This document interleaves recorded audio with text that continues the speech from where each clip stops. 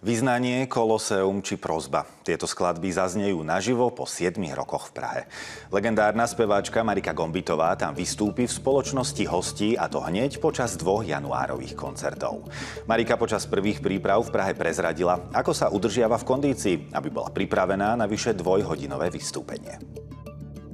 Hlas trénujem stále, ale najdôležitejšia je fyzická príprava. To znamená kondička, bez toho hlas nebude dobrý. Môžete nám trošku teda o tej rozcvičke prezradiť, ako to vyzerá? Tak, ako myslíte, fyzičnú, alebo tak cvičím štinkami s rôznymi náradiami. Áno, asi hodinu a pol tréningu. Pokiaľ sa dá každý deň, ale každý druhý určite cvičím. A tá druhá príprava, robím hlasové cvičenia pre hlasivky, pre aby lepšie fungovali, aby boli odolné a, a spev, spev, spev, dýchacie cvičenia a tak.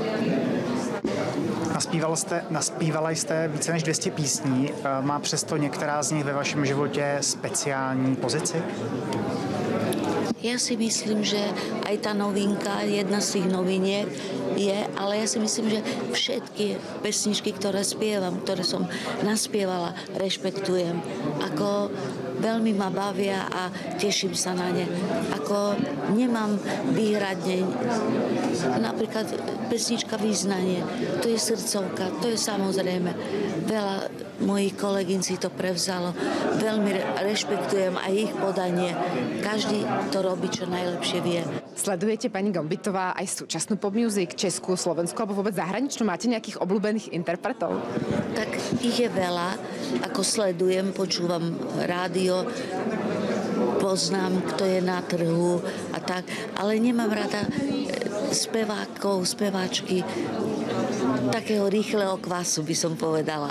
Že za, naspievajú nejakú pesničku a potom sa nič nedeje. Áno, ja mám rada kvalitu, poctivú robotu a asi tak.